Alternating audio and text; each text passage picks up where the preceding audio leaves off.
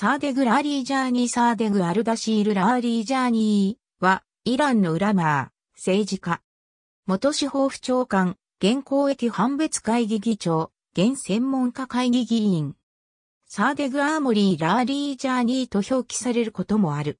サーデグは1960年3月12日、アーヤトッラーのミールザー・ハーシム・アーモリーを父親に、イラクナジャフで生まれた。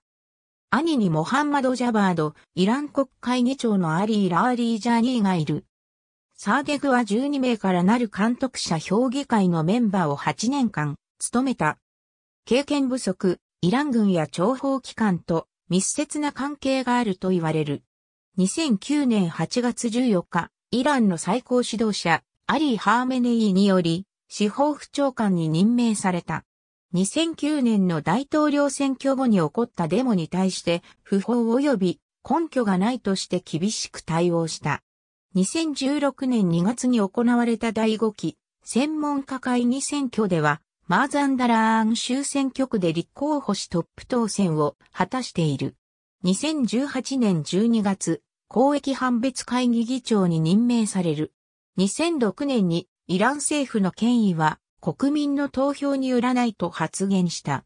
元大統領、モハンマド・ハータミーの改革の批判者として知られ、1998年3月の記事で前者の求めた市民イスラム社会を非難した。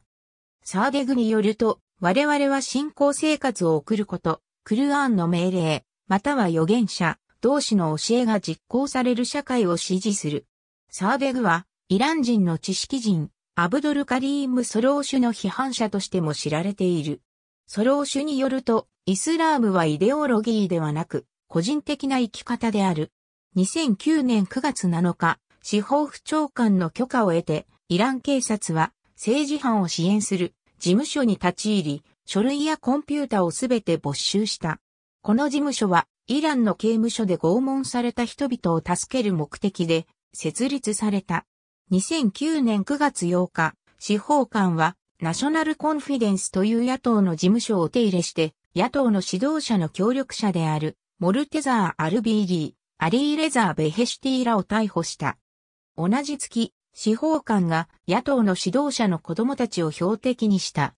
例えば、投獄中の活動家、ジャバード・エマームの娘であり、2009年の大統領選候補者ミール・ホセイン・ムーサビーの選挙担当でもあったアーテフェ・エマームは9月9日に逮捕され24時間にわたり交留され彼女の父親に関する取り調べを受けた。2019年3月、司法府長官を退任。ありがとうございます。